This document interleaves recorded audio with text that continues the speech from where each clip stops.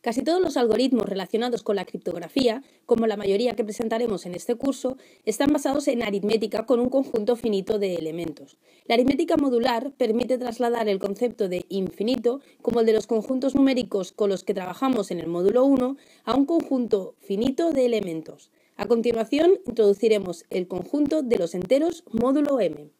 Y comenzaremos con un ejemplo sencillo que utilizamos constantemente en nuestro día a día, el que se acostumbra a llamar aritmética del reloj. De la mañana se le agregan dos horas, se llega a la una de la tarde. En cierta manera estamos diciendo que 12 más 2 vale 1. Y si son las 3 de la tarde, pero hace 5 horas que comenzamos una cierta actividad, querrá decir que comenzamos a las 10 de la mañana.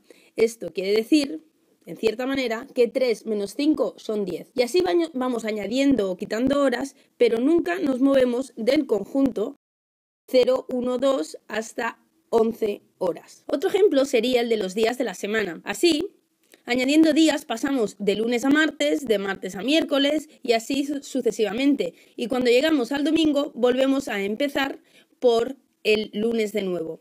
Y así vamos añadiendo días y días, pero nunca nos movemos del conjunto de días de la semana. O lo que es lo mismo, dentro de este conjunto, si asignamos un número a cada uno de los días de la semana. Observemos que si pintamos cada día con un color distinto, los lunes de rojo, los martes de naranja, los miércoles de amarillo y así sucesivamente, lo que estamos haciendo es dividir el conjunto de todos los días en siete conjuntos diferentes. Así pues, el conjunto de todos los días de la semana ha resultado ser la unión disjunta del subconjunto de todos los lunes, todos los martes y así hasta todos los domingos. Notaremos de esta manera a la unión disjunta. Ahora, en lugar de 7, supondremos un entero m mayor que 1 y nos olvidaremos de las semanas para considerar los números enteros. Nuestro objetivo será clasificar los enteros en m subconjuntos diferentes el primer conjunto será el de los múltiplos de m. El segundo será el de aquellos enteros cuyo resto al realizar la división con m es 1. El tercero es el de los enteros con resto 2 en la división por m y así sucesivamente. El primer conjunto, de hecho, lo podríamos haber considerado como el conjunto de enteros cuyo resto en la división por m es 0. Así, pues, observamos que simplemente calculando la división entera podemos saber en qué conjunto estará nuestro entero m, perdón, nuestro entero a. Así, si consideramos, por ejemplo, m igual a 5 y a 21, observamos que al realizar la división entera sabremos que 1 es el resto correspondiente. Matemáticamente lo que hacemos es definir una clase de equivalencia y considerar el conjunto de sus clases. Pero para comenzar en este curso nos conformaremos si trabajáis y operáis cómodamente con estos elementos, los elementos módulo m.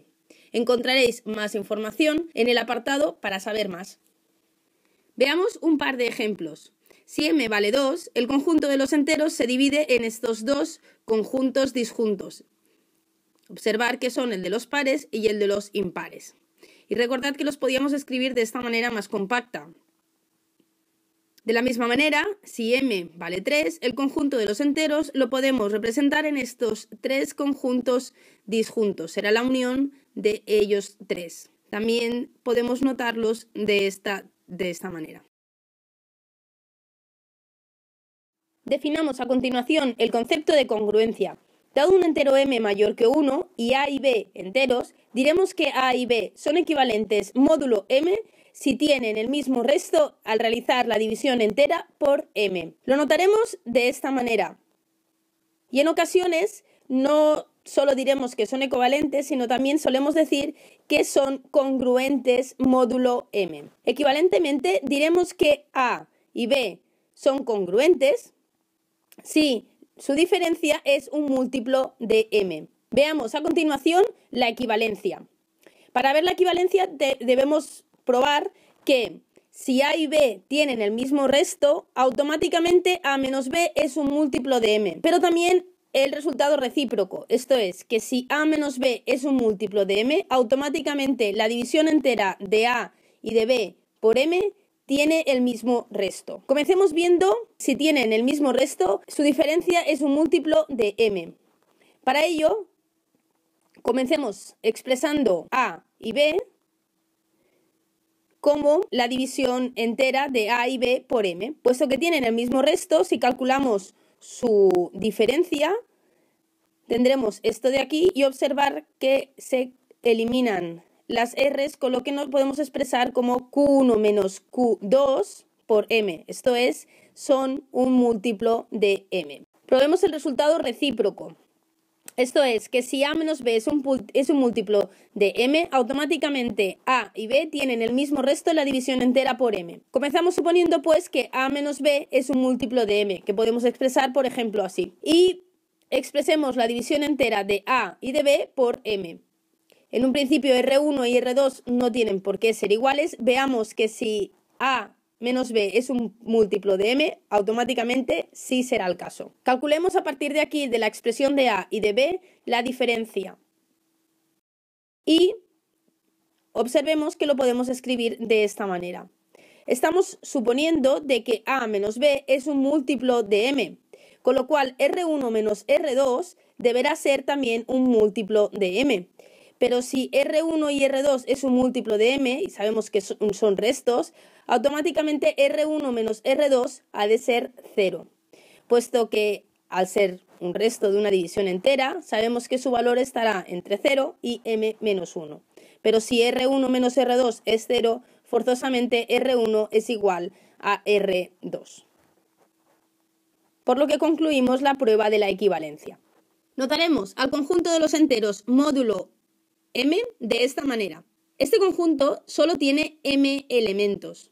Cada elemento de este conjunto es un subconjunto infinito de enteros que corresponden a todos los enteros que tienen el mismo resto al ser divididos por m, como ya vimos. Los enteros 0, 1, m-1 son los representantes de la clase y ninguno más, al ser precisamente estos los posibles restos de la división entera por m. Aunque se podrían elegir otros, generalmente se elige este conjunto. Como notación, para denotar a los elementos de m, utilizaremos o bien a con una barra o bien la A entre corchetes o simplemente la A si del propio contexto queda claro que estamos refiriéndonos a un elemento de ZM. Cuando decimos calcular la clase de congruencia de un entero dado A, módulo un M dado, debemos encontrar el único de los enteros de entre 0 a M menos 1 que es congruente con A módulo M.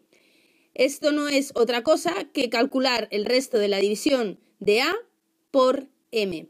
Por ejemplo, vimos hace unos minutos al principio del vídeo que 21 en z módulo 5 era 1, con lo cual 21 es congruente a 1 módulo 5. Esta es la clase de congruencia de 21 módulo 5. De la misma manera, si consideramos y buscamos la clase de congruencia de menos 24 módulo 7, debemos realizar la división entera. Y puesto que el resto es 4, diremos que menos 24 es congruente con 4 módulo 7. Y finalizamos proponiéndoos que para estos tres enteros calculéis las clases de congruencia módulo 11. Hemos visto pues cómo son los enteros módulo m. Veremos más sobre ellos en los próximos vídeos, en especial sobre su estructura y cómo se opera con ellos.